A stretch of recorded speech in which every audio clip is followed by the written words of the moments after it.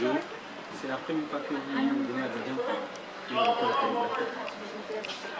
Oui, c'est la première fois que je participe euh, au festival euh, Un pas vers l'avant. C'est une très très belle opportunité, très très belle euh, initiative que je salue Ange qui a initié ce beau projet. Et je pense que c'est important aujourd'hui d'avoir des projets comme ça sur, euh, sur le continent pour euh, nos jeunes euh, créateurs. D'accord. Alors, quand la, la directrice du festival, Anja Oussou, vous a approché, vous a fait la proposition de venir donner cette formation, qu'est-ce qui a été déterminant dans le choix de, de venir à Abidjan? Oui, je pense que c'est toujours euh, important pour moi, à chaque fois qu'il y a une occasion, de rencontrer euh, des artistes, de rencontrer d'autres euh, danseurs, euh, chorégraphes, et surtout sur le continent. C'est toujours, excitant, c'est toujours galvanisant pas de partager une, expérience. Et je pense qu'à travers ces échanges, à travers ces expériences partagées, on apprend beaucoup de choses.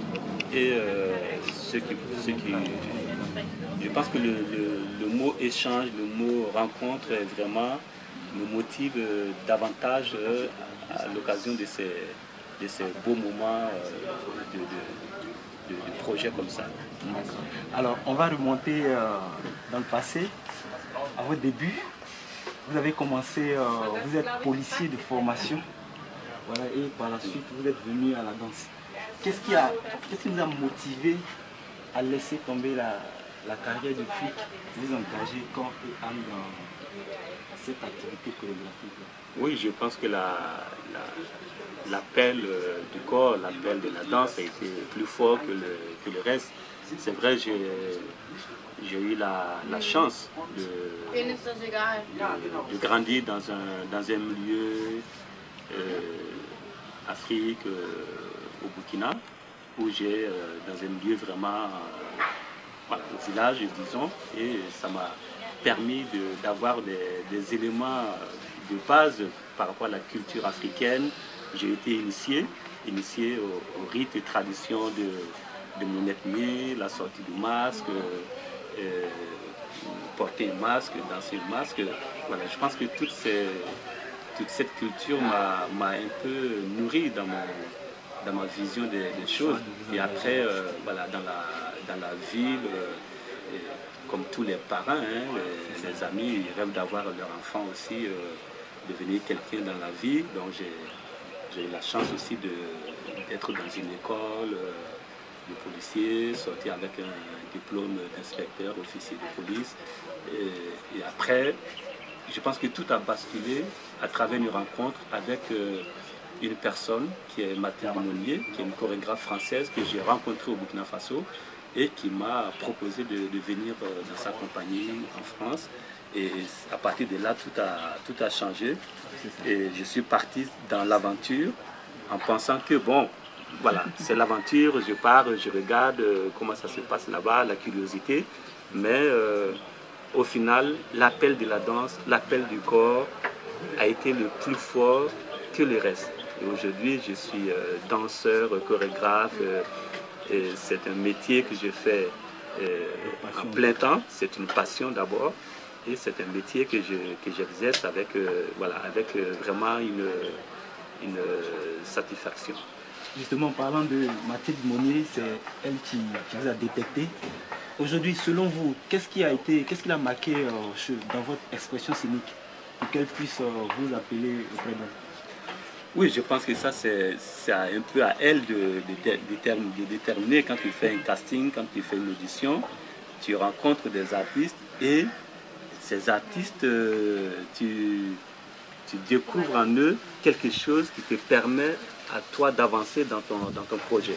Et je pense que la rencontre euh, Mathilde et l'Afrique, elle-même, elle le dit souvent pendant ses interviews, elle dit que euh, ma danse, je sentais ma danse s'essouffler en Europe et le fait d'aller en Afrique m'a permis d'avoir des ressources pour régénérer. Euh, voilà, de régénérer ma danse et, et, je pense que si elle est venue en Afrique pour trouver une ressource pour trouver une, autre, une autre énergie.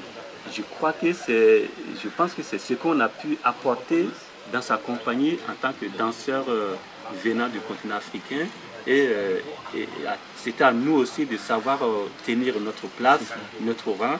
Et aujourd'hui, avec le recul, je pense que ça a été euh, un moment fort de ma vie, rencontrer une autre personne, la curiosité d'abord, et après tout bascule euh, du jour au lendemain. Et aujourd'hui, bon, euh, c'est les conséquences, c'est le résultat de, de tout ce cheminement avec la chorégraphe. Alors, à l'ouverture du festival Un Pavel avant, vous avez dit quelque chose de, vraiment important. Vous avez dit aux, stagiaires comme ça que on peut être bon danseur, mais ne pas être forcément bon chorégraphe. Alors moi, je vous ramène la question, vous, en tant que Salia Sanou, à votre début de danseur-interprète, comment vous avez assuré cette transition-là pour passer de chorégraphe reconnu euh, Je pense que les choses sont, sont, arrivées naturellement. Hein, j'ai beaucoup été euh, interprète, danseur-interprète, et pour moi, c'était la, chose la plus euh, qu'il fallait d'abord maîtriser.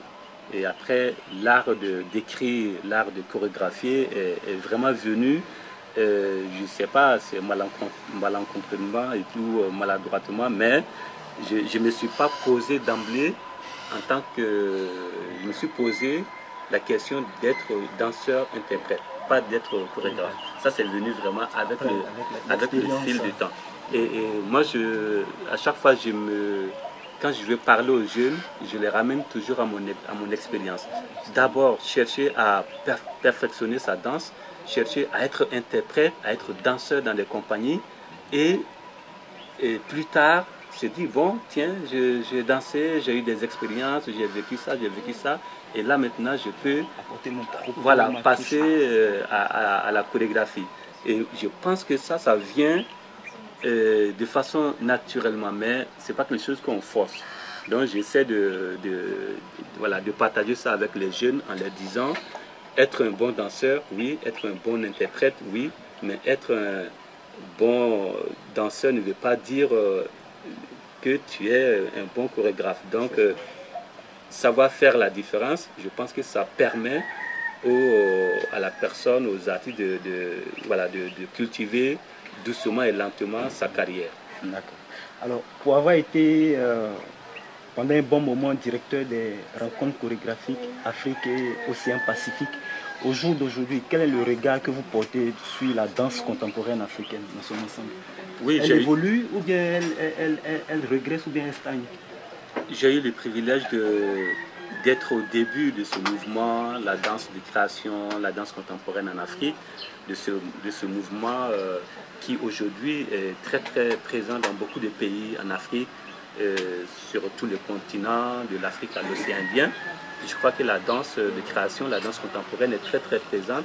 Et c'est une danse, j'allais dire, très très jeune. 15 ans, c'est rien par rapport, à, par rapport au mouvement. Donc euh, en 15 années, je pense qu'il y a eu beaucoup de choses qui se sont faites dans le sens de la de la formation, dans le sens de la, de la prise de, de risque de, de, parole par les artistes chorégraphes. Chacun où il se trouve se questionne sur le quotidien, sur euh, ce qui se passe dans son, dans son pays. Je pense que ça, c'est très très important. Après, la structuration qui est euh, comment, comment former une compagnie, défendre le travail de la compagnie et sur le long terme, créer un espace de travail, créer une école, créer un festival. Tout ça, c'est la structuration qui est, qui est, qui est en ébullition, qui est, qui est en train de se mettre en place. Rien n'est parfait, mais avec la construction que je vois, je peux dire qu'on avance. On avance euh, petit à petit. Euh, et, voilà. Donc je pense qu'il n'y a pas, euh, par rapport à l'âge que nous avons, par rapport à l'âge de ce mouvement, je pense que il y a des choses qui sont très très importantes, qui sont posées et qui continuent à, exister. Et ça, c'est vraiment une, bonne chose. Alors, c'est la première fois que vous êtes là en, Côte d'Ivoire dans le cadre euh, du travail. Ça fait quelques jours quand même que vous côtoyez les stagiaires, parmi lesquels il y a pas mal de danseurs ivoiriens euh, issus des différentes compagnies de la place.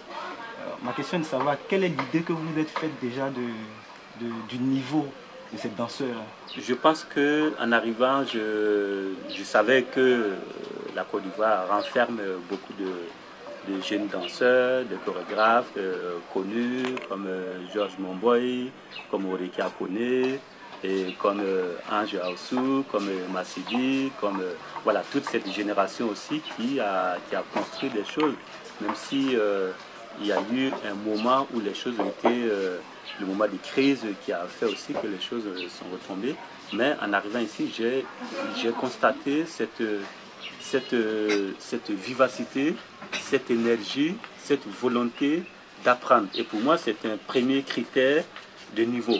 Hein, quand je suis en face de quelqu'un, je vois que la personne est engagée, la personne est, est motivée, la personne est, est vraiment a envie d'apprendre. Voilà, pour moi, c'est un premier critère de, de, niveau. Le deuxième critère, c'est bon, c'est la technique, c'est la connaissance qu'on on, finit pas d'apprendre. Même le professeur qui est en face d'apprendre en face de ses élèves. Je pense que c'est voilà. Donc j'ai trouvé des, jeunes motivés, j'ai trouvé des jeunes engagés, j'ai trouvé des, des, jeunes danseurs qui, qui assoiffés d'apprendre. Et pour moi, c'est très très important. Et euh, le travail qu'on a, a fait, je pense qu'il y a, y a une belle écoute, il y a une belle, euh, une belle disponibilité des uns et des autres. Et je pense que je suis vraiment très content de, de, ce, de ce passage, de ce moment d'échange et de dialogue avec les danseurs. Alors ma dernière question, c'est en 2011, vous avez créé euh, votre festival Mouvement Perpétuel que vous la dirigez, compagnie. la compagnie Mouvement Perpétuel que vous dirigez. Alors, on a envie de savoir que devient la compagnie Saliani Seydou et tous les autres projets aussi que vous avez créés La ensemble. compagnie Saliani Seydou, on avec Seydou Boro, on a fait 17 années de compagnie. euh, avec euh, c'était 17 années de cheminement, de, rencontres, d'aventures, et c'était fabuleux. Mais il y a un moment aussi, comme je dis, les, les créateurs aussi s'essoufflent. Il faut aller chercher d'autres ressources. Avec la compagnie, avec Seydou, on a, on a fait de très très belles choses. Mais il est arrivé un moment où euh, Seydou avait envie aussi de, prendre sa liberté sur autre chose. Moi, j'avais aussi envie de prendre la liberté.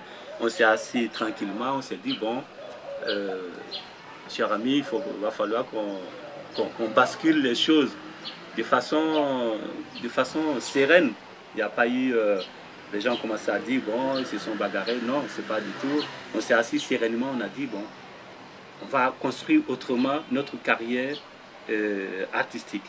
Et Sédou euh, fait la musique, il fait le cinéma, il fait la danse.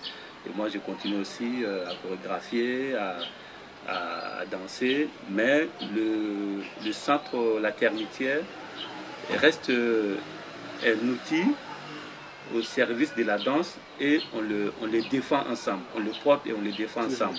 Tout comme le festival Dialogue des corps qu'on défend, qu'on porte, qu'on défend ensemble. Donc euh, voilà, il y a eu un moment où les chemins se sont croisés, se sont séparés, mais l'essentiel reste. Et l'essentiel, c'est le combat que chacun mène pour, euh, pour l'évolution, pour, pour le développement de la danse. Merci Salia Samou pour votre disponibilité. Merci beaucoup.